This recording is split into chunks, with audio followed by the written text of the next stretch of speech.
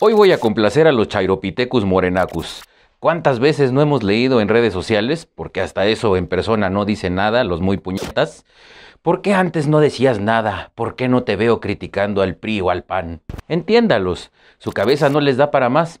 Ellos creen que por criticar al ganso macuspano, en automático ya estás del lado de los corruptos anteriores. No, mis pequeñas mascotas croqueteras. Se critica la incongruencia y las mentiras del gansito Morenela las cuales, dicho sea de paso, es lo que a ustedes los mantiene esperanzados en que las cosas serán distintas en esta ocasión. Retomemos el tema del mentado avión presidencial por un momento. Claro que fue un error desde un principio, eso nadie lo niega. Un avión era necesario, es, de hecho. El error está en haber conseguido uno con costo exorbitante y con exceso de lujos. Fue un error de parte de Felipe Calderón y continuada por Enrique Peña Nieto. Sí, ya sabemos que fueron pésimos gobiernos y llenos de corrupción descarada, en especial el de Peña. Aborrezco, vomito y repruebo la corrupción y el mal manejo del país que en su momento hicieron el PRI y el PAN. ¿Sí queda claro o les explico con manzanas? Andrés Manuel ya sabía a lo que se enfrentaba desde el principio y sabía que no podría vender el avión, pero también sabía que si alzaba como estandarte de campaña la promesa de venderlo, eso en automático iba a tenerlos a todos ustedes, simios aplaudidores, comiendo de su mano. Salió en su mañanera con que ningún medio había criticado nada en su momento. Bueno, pues él tampoco. Decidió comenzar a hablar al respecto exclusivamente para su eterna campaña. Hace unos días, en una de sus conferencias de prensa y con relación al dichoso avión presidencial, López Obrador señaló que cuando se iba a dar la compra del aparato, la prensa no lo reportó. El mandatario obviamente se refería a que ningún medio había cuestionado dicha adquisición, cuyo proceso inició allá por el 2012 y finalizó en el 2015. Los editores del periódico El Universal respondieron que ellos, en su momento, sí informaron sobre la compra del avión presidencial. Incluso uno de sus colaboradores le presentó como evidencia una vieja portada de ese diario que lo constataba.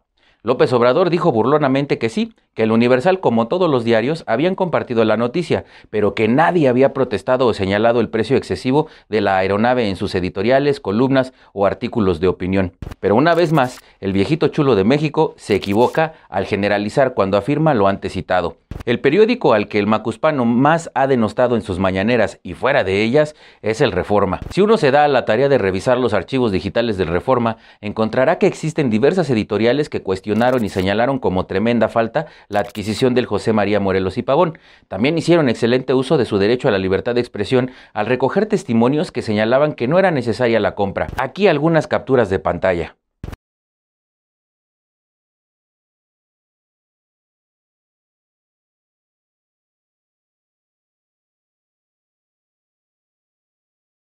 Reforma resultó el medio FIFI que dijo, antes que el mismo López Obrador, del error que era la compra del avión, un posicionamiento que el Gancito hizo suyo para iniciar una campaña teniendo por eje central el avión faraónico, y no porque estuviera tan indignado.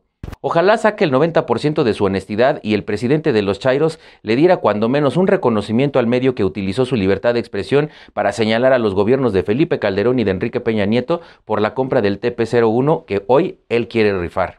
Y así como el Reforma, muchos lo señalaron, incluyéndome. Lo que sucede es que en aquel entonces yo no hacía videos y no tenía el alcance que hoy tengo gracias a ustedes. Ahora bien, observando el panorama plagado de fanatismo que se vive actualmente en nuestro país, puedo casi asegurar que de una forma o de otra va a terminar deshaciéndose del avión faraónico, ya sea vendiéndolo, rentándolo, usándolo como museo o rifándolo aunque eso signifique, a final de cuentas, pagar más como pasó por tenerlo arrumbado en Estados Unidos o en su caso malbaratarlo y perderle al valor real.